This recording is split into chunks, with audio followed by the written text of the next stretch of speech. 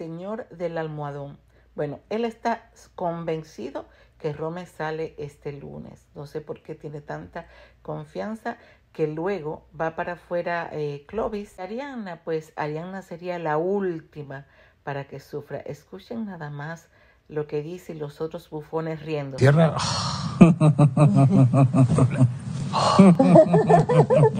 Paz para Lupillo. Ay, sí va a ser. Sí, claro. Sí va a ser. Y ese día voy a voltear al club y se le dice, tú sigues, cabrón. Y va Uy, eh. a correr los Lakers. Una reflexión que le vendría muy bien a estos del cuarto agua.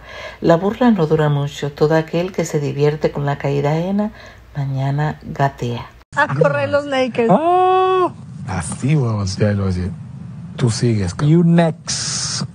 Y la gente, oh, ya escucharon. Y Lupillo, de verdad voy a creer que tú estás obsesionado con esta mujer. A la, a la otra la quiero dejar nomás para que se vaya bien enojada.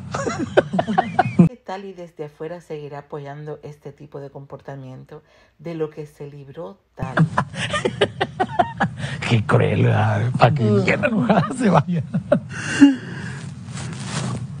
Sale una... Rome debe de, debe de ser votado o ser nominado. En la cuarta temporada, un personaje raro ha llegado.